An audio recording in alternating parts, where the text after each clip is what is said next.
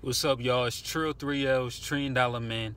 Quick recap for y'all. Glueazy versus Geechi Gotti, man. It got to be quick because this battle wasn't a battle that you could really break down like that. Um, there wasn't no moments where it's like, okay, this person is not going to win, but then they have a great moment in that round that made them win in that round, even though an opponent had a even more consistent round. This battle started off good and ended even better. Um, I'm giving it to Glueazy 2-1.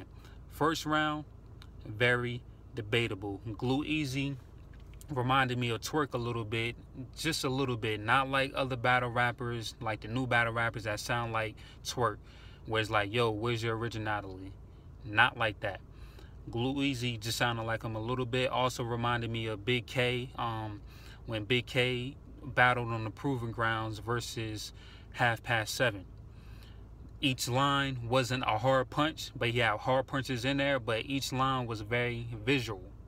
So the crowd can resonate with your bars better. That's what Easy's first round was. Geechi Gotti, first round, from the beginning, he was smoking. It was really no dry areas in that first round, like no dead air. Like he was just smoking that whole round.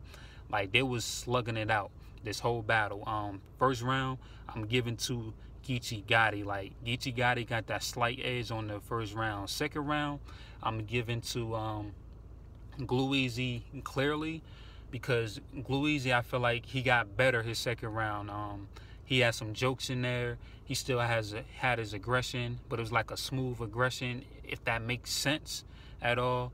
He had some clever bars.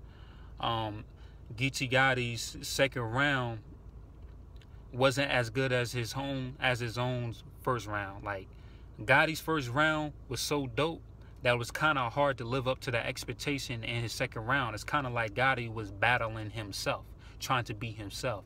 Second round, it just wasn't quite there like his first round. So Easy got that second round clear.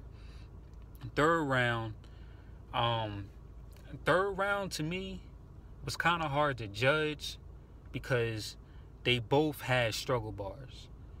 And that's what str- the struggle bars, when it's executed well, and it's not like you just saying it just to have some struggle bars just so people can feel bad for you.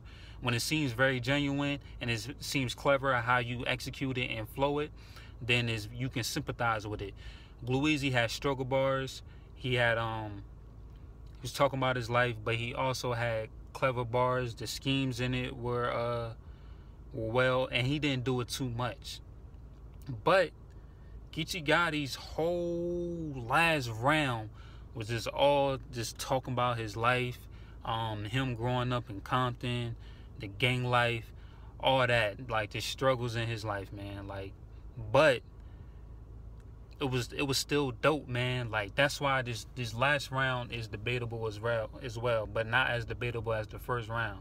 Um, I'm giving that slight edge to Glue And this is a battle also that if I watch this right after this recap, watch it again, my perspective on it is probably going to change. That's why I love battles like these. And another reason why I like this battle because um, they show respect to each other during the battle. Like you can tell Gotti was liking what Easy was saying. You could tell when Easy liked something that Gotti was saying, but it wasn't like where um, T Rex know knows he getting killed.